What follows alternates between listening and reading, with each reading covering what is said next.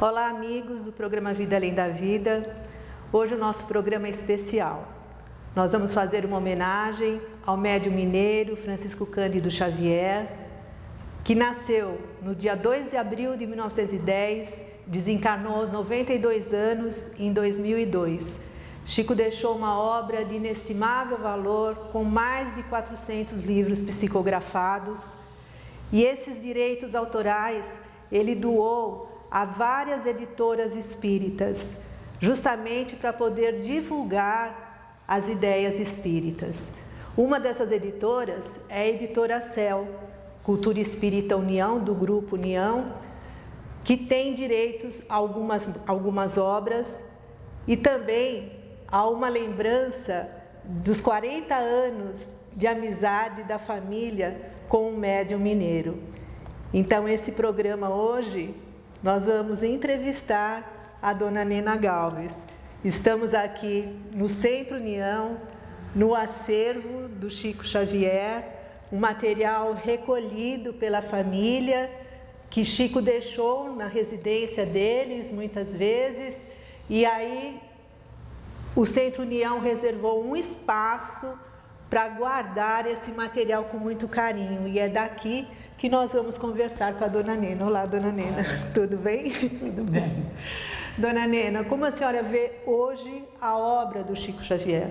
Bom, hoje, com um pouquinho mais de clareza do que quando ele as recebia e eu estava em tanto contato com ele, eu não sentia talvez a grandiosidade, porque com o tempo a gente vai amadurecendo um pouco. Hoje eu sinto esta obra que ela é de um futuro radioso, porque ela vai ter um futuro. Não é possível que uma obra tão gigantesca se perca e fique esquecida em, um, em, uma reencarnação. Então, hoje eu a vejo com muito mais clareza, ela é grandiosa.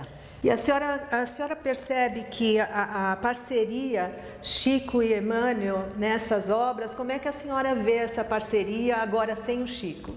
Bom, é, quando estávamos com o Chico e ele falava em Emmanuel, e o contato que ele tinha com Emmanuel, mesmo fora das horas é, de trabalho mediúnico, a gente sentia já que a parceria não podia ser só de médium e de, de, de, espírito. Isso vem de milhares, eu diria, de anos.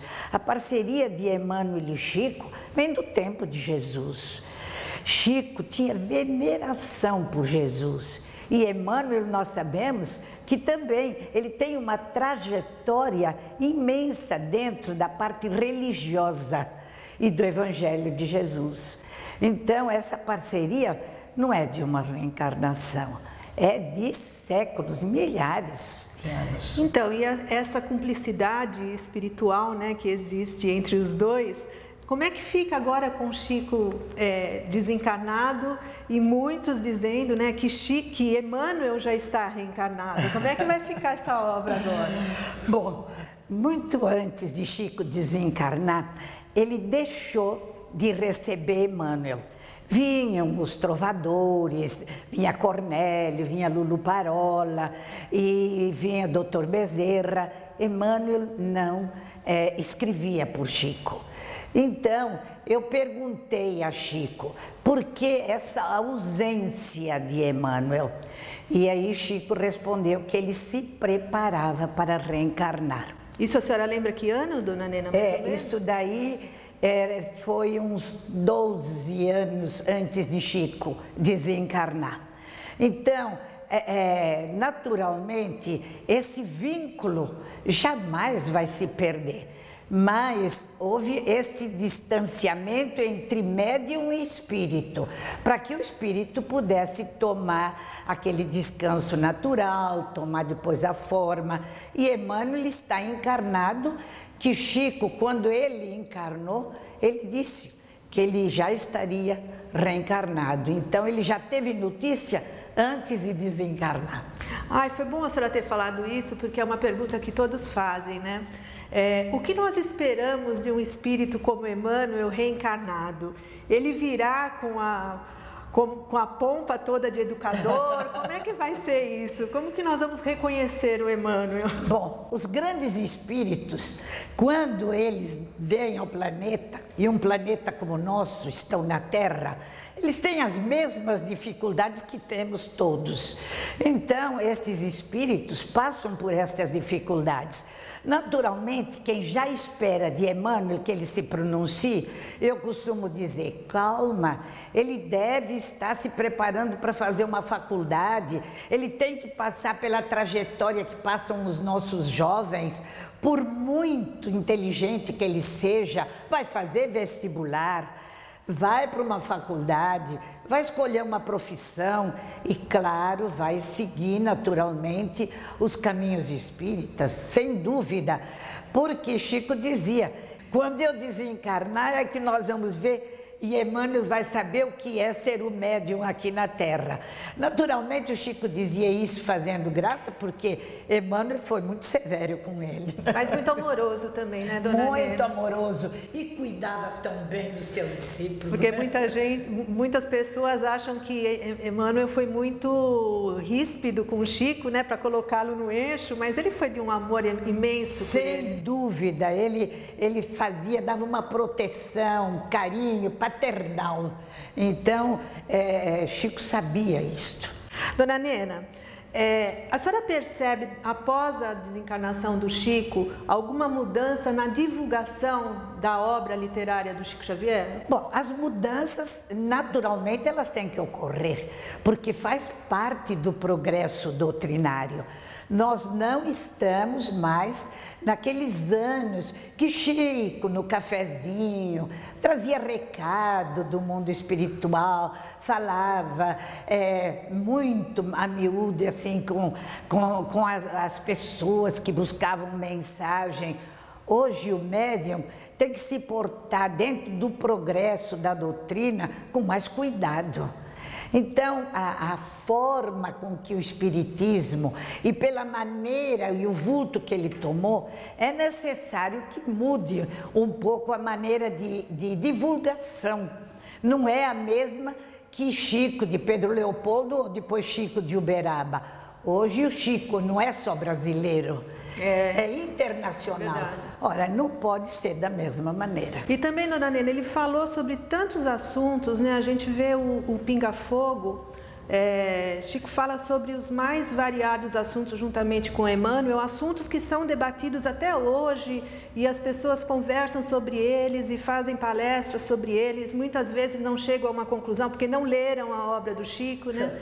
Então, a minha pergunta é: o que há de novo o que esse pessoal está trazendo de o que o movimento espírita está trazendo de novo sobre esses assuntos que o Chico já Bom, já, já assimilou no, no, no Eu aconselharia que lessem muito as palavras de Emmanuel, observando pontos e vírgulas, porque muitas vezes nós lemos ou estudamos, mas não conhecemos o texto profundamente. Isso acontece até quando lemos um livro muito profundo, nós lemos uma ou duas vezes e nós não conhecemos o texto. Então, quando a gente observa o que o Chico é, teria dito quando encarnado, é, inspirado, ou Emmanuel dito através de Chico, hoje se aplica ainda muito a estes assuntos difíceis como aborto, homossexualismo, sexo, família. Eu não vejo diferença. É porque ele respondia em cima da lei divina e a lei divina respondia é imutável. Sempre. É imutável. A maneira como o homem a entende através do tempo é que muda. Isso sim, mudam as palavras, muda a maneira de se expressar, o foco. Então, mas que mude a essência, não. Dona Nena, ainda voltando né, ao assunto é, referente ao período após a, des, a desencarnação do Chico, é, eu queria saber como é que a senhora analisa as mensagens que muitos hoje atribuem a Chico Xavier.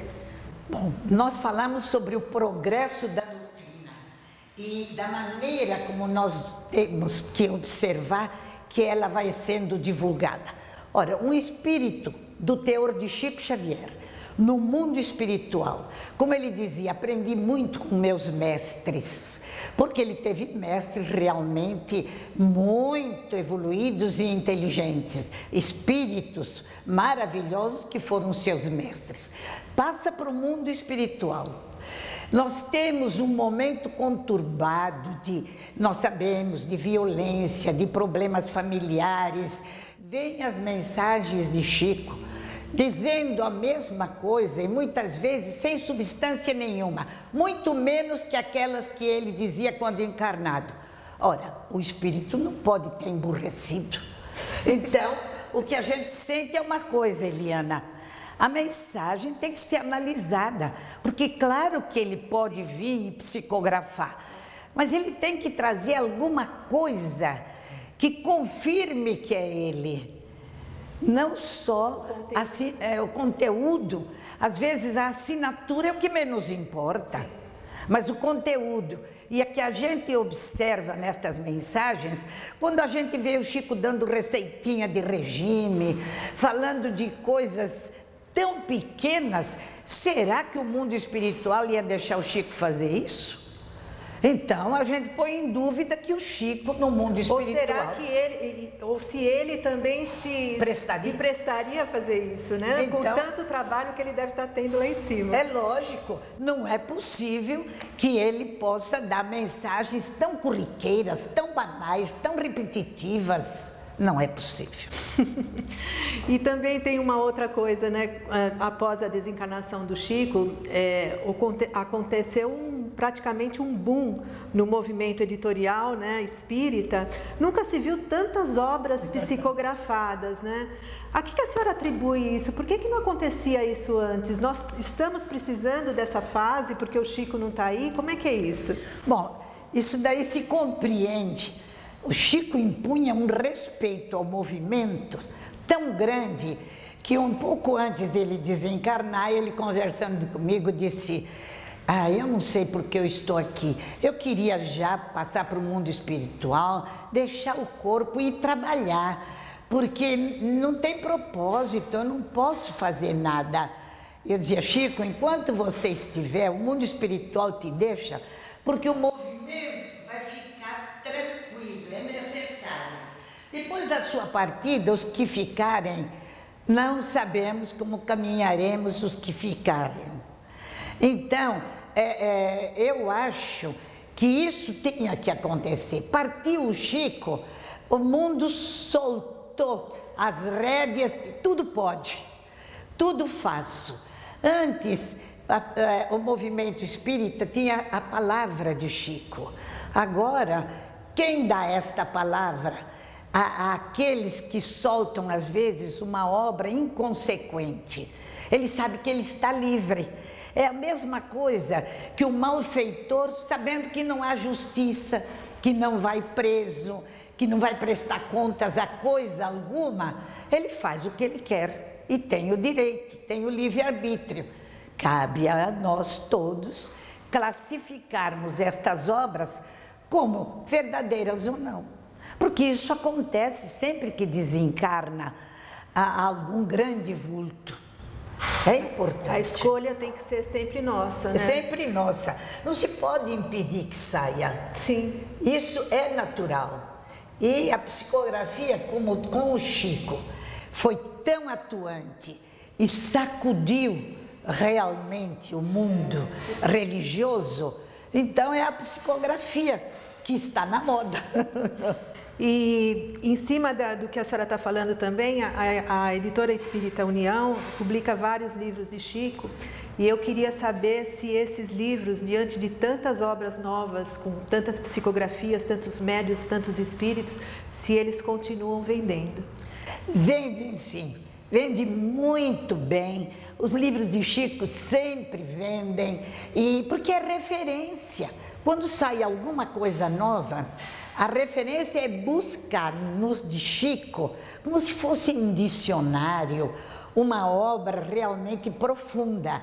Então, vende pelo Brasil todo, no exterior, recebe é, pedidos pela internet do Japão, da China. Então, vende. As obras de Chico vendem muito bem, graças a Deus. E agora que essas obras estão disponibilizadas na internet, como é que ficam as editoras? Porque acho que há um prejuízo nisso, né? Porque não, nem tanto, porque é importante também que elas sejam é, pela internet para quem realmente tenha problemas financeiros ou problemas de leitura, mas o carinho de teu livro, manusear, escrever detalhes, parágrafos, itens, riscar é precioso. Nós aqui no nosso acervo temos coisas de Chico grifadas.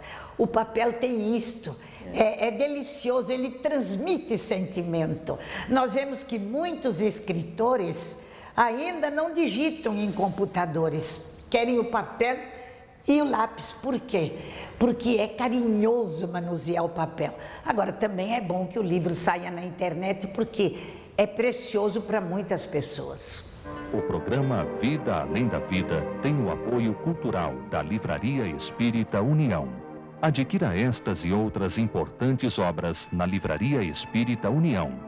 Sempre as melhores publicações espíritas do país livros de todas as editoras espíritas, descontos especiais para centros espíritas, associações, livrarias e clubes de livros. Livraria Espírita União, Avenida Rangel Pestana, 233, ao lado da estação Sé do metrô.